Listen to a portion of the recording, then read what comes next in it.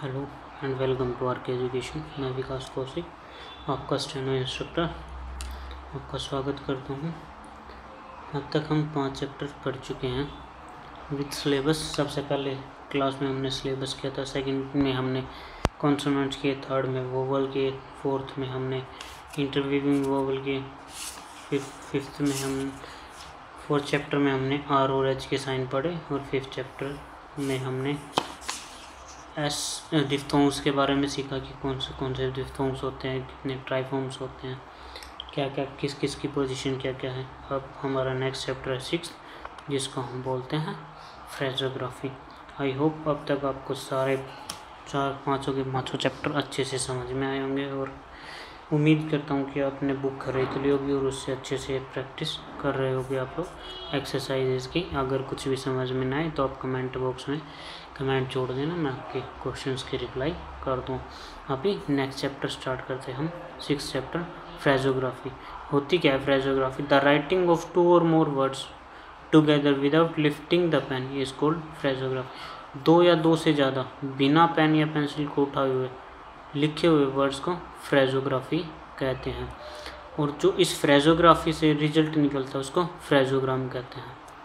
जैसे ग्राम लोग, उसको लोगोग्राम से बोलते हैं तो वैसे ही फ्रेजोग्राफी को फ्रेजोग्राम बोलते हैं। यानी कि दो या दो से ज़्यादा शब्दों को बिना पेन उठाए लिखने की कला को फ्रेजोग्राफी कहते हैं। और इस कला से निकलने वाली आउटलाइन को हम फ्रेजोग्राम बोलते हैं। देखो, इसका फ़र्स्ट रूल क्या होता है? The first word form of a phraseogram must occupy the position in which it would be written if it stood alone अगर वो अकेला खड़ा है तो उस फ़र्स्ट वर्ड की पोजिशन हमेशा उसी हिसाब से लिखी जाएगी। जैसे हम लिखते हैं how can they how can they कैसे लिखेंगे?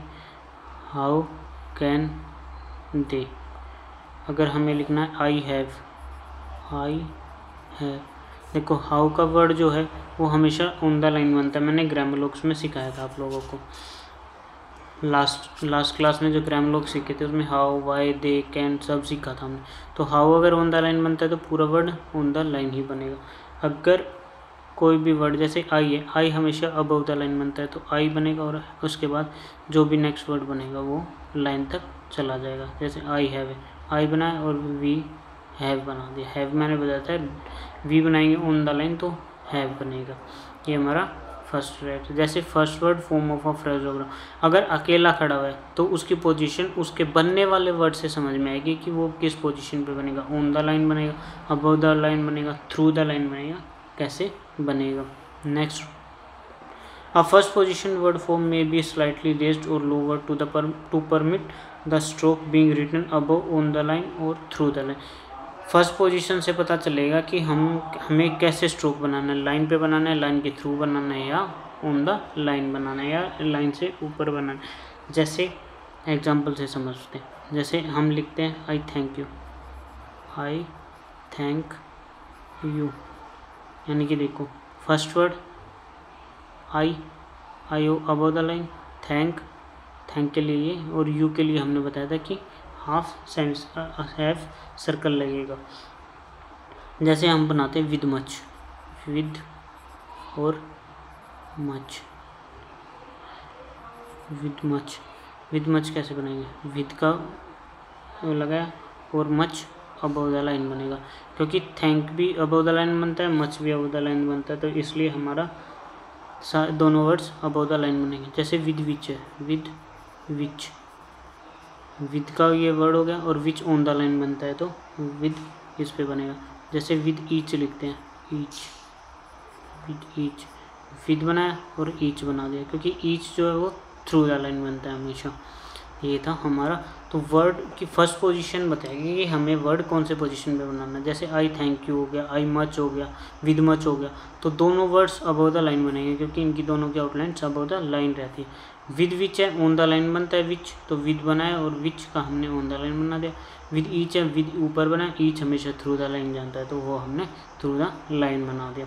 नेक्स्ट है when joining to K L M N the sign of I may be shorten जब भी भी हम के एल और एम के साथ आई का साइन बनाएँगे, वो छोटा हो जाता है।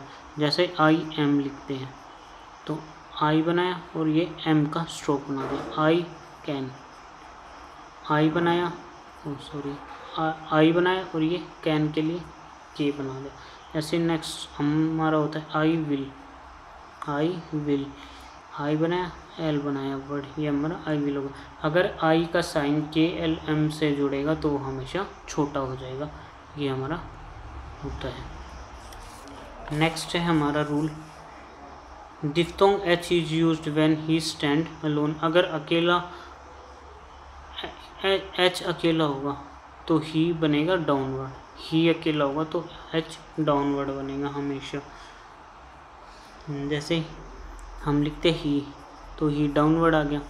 तो अगर हम मान लो हमें लिखना है ही में ही में लिखना है तो ही आ गया और ये मे का साइन लग गया. ही मे बन गया. अगर हमें लिखना है ही शुड नो जैसे ही शुड नो तो कैसे लिखेंगे हम? ही बनाया शुड बनाए और ये नो का साइन बना दिया हमने। ये हमारा ही शुड नो हो गया। नेक्स्ट हमारा रूल है tick H is written for he if it is in the middle अगर किस ही मिडल में आ रहा है तो हमेशा टिक वाला बनेगा टिक एच बनेगा। इफ़ ही में बनाना है तो इफ़ थ्रू द लाइन फिर ही और ये में ये जो टिक है, ये ही है. जैसे नेक्स्ट वर्ड है इफ़ ही शुड नो तो कैसे बनाएँगे हम? इफ़ ही शुड नो को. देखो, जैसे इफ़ बनाया ही बनाया. शुड केवल ये ये बनाया और ये नो का वो ये लगा दिया हमने. तो ऐसे बनाते हैं हमेशा।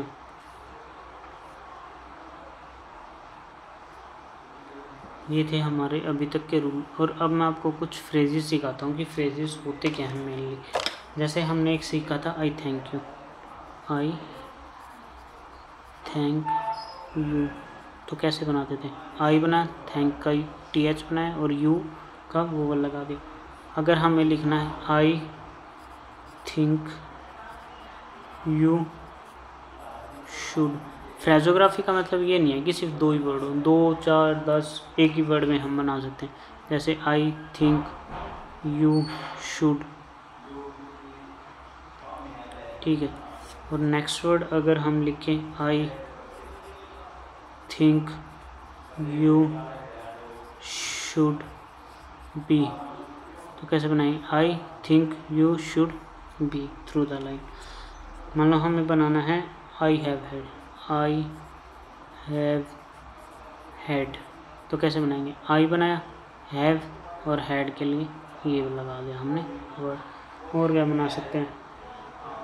मान लो हमें लिखना है why do you why do you तो वाई बनाया डू बनाया, और ये यू का साइन लगा दिया हमने।